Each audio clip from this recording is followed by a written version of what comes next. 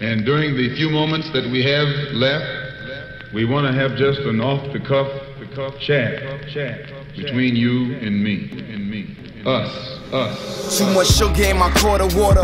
Man, salt in my chips. Too many cops on my block. I should've thought of the summertime copping those Italian ices. Scuff pants, old shirt. I need a pair of Nikes. Ill colors, air bubbles, they be maxed out. Posing my dreams, step on the scene, now they ready to blow. Kicks are clean, gotta be careful how I step on my toes. Don't want no creases, no one's letting me know. They don't make me run faster nor jump higher. So why the hell am I wasting my dough? A penny in my pocket and can't share my feelings on the rights or wrong of this drug dealing. Oversized jerseys for every day of the week with matching warm ups. I still stay in the street, never touching the court, so what are we playing?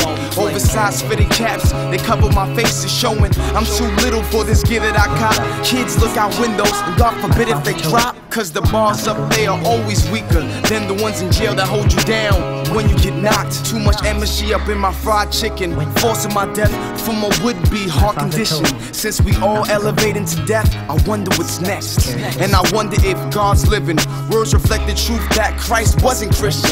But I wonder what Jesus Christ thinks of Christians. Does he care that a white face is what his vision?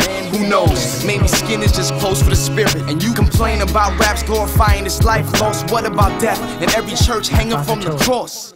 Was that his want to be represented? If that's the case, I say this and don't get offended. I want a picture of all my deceased brethren.